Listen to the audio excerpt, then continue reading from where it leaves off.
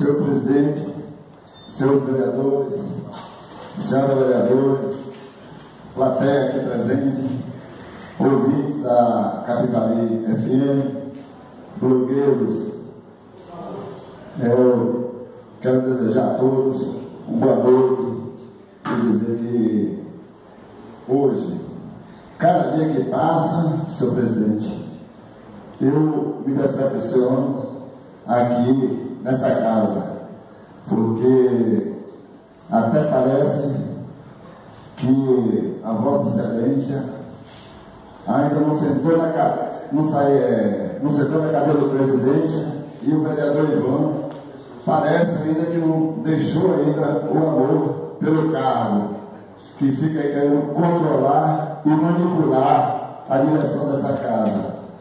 Então isso eu quero repudiar essa posição do vereador e pedir ao presidente que ele procure mais orientação para ficar aí com esse jogo na direção dessa casa. Primeiro, eu gostaria de também dizer ao, a todos que nos ouvem, está aqui presente, que a, a direção dessa casa, a presidência, com seus assessores, vive aqui, cada dia que passa, manipulando qualquer proposição do vereador. A gente tem várias proposições que não foi votada, desde a época do vereador Ivan, engavetada, e agora também mais é, proposições, duas mais engavetadas. E isso só nos deixa triste, porque se tivesse alguma coisa na hora do dia, em tudo, tudo bem, até agraderia, mas não tem nada. Aqui é só vir para a tribuna e ação nenhuma no plenário não tem. Porque as leis não votam de jeito nenhum aqui.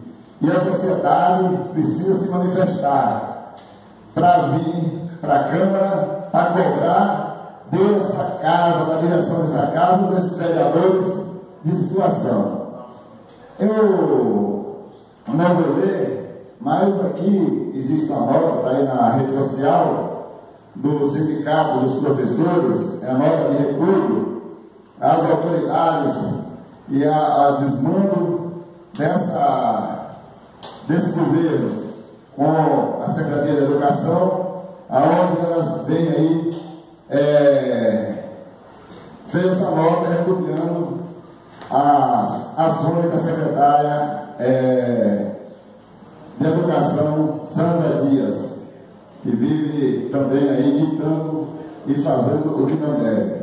Os professores estão tá, é, a, dire, é, a atitude da direção da escola municipal José Pires, porque tudo é sob controle da direção ou da Secretaria de Educação. Então é bom, pessoal, dê uma olhada, dê uma, linda nessa nota interessante do sindicatos florestores, da PLB. E eu também tem um problema que está se gravando, é o problema de São Joaquim, da Baixa Verde, da, do transporte escolar lá, que continua o problema lá, e o pessoal está tentando resolver, e está um jogo de burra da, do transporte da Baixa Verde para São Joaquim. Então vamos tentar resolver esse problema aí, porque a gente vamos lá com essas posições, porque o povo, os crianças estão sendo prejudicados lá na Baixa Velha. E outra questão é o lixo.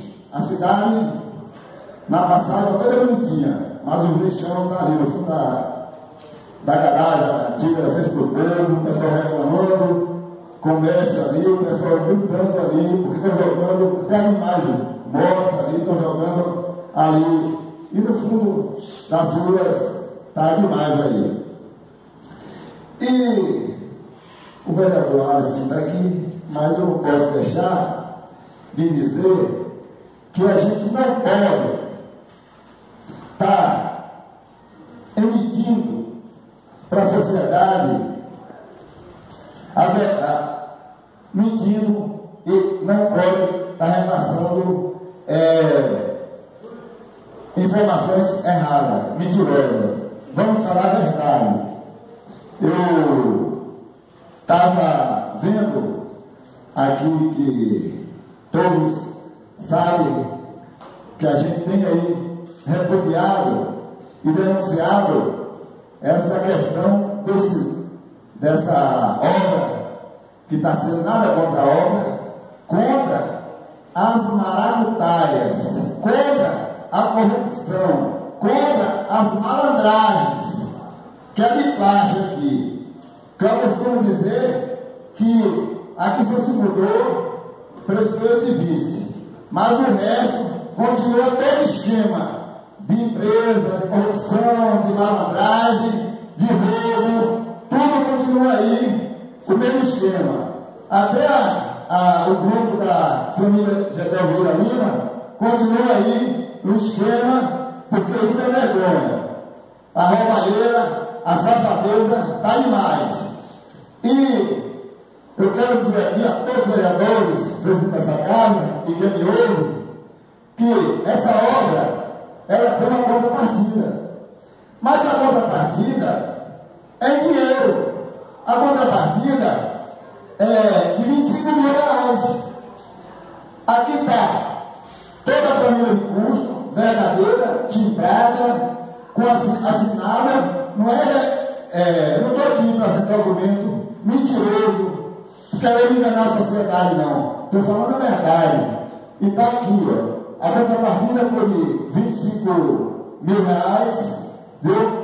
A prefeitura repassou 5 mil e continua usando os equipamentos da prefeitura. Ó, para vamos, gente, entender, para que todos entendam. A contrapartida, ela é em dinheiro, ela é em numerário. Não existe contrato aqui de contrapartida em serviços.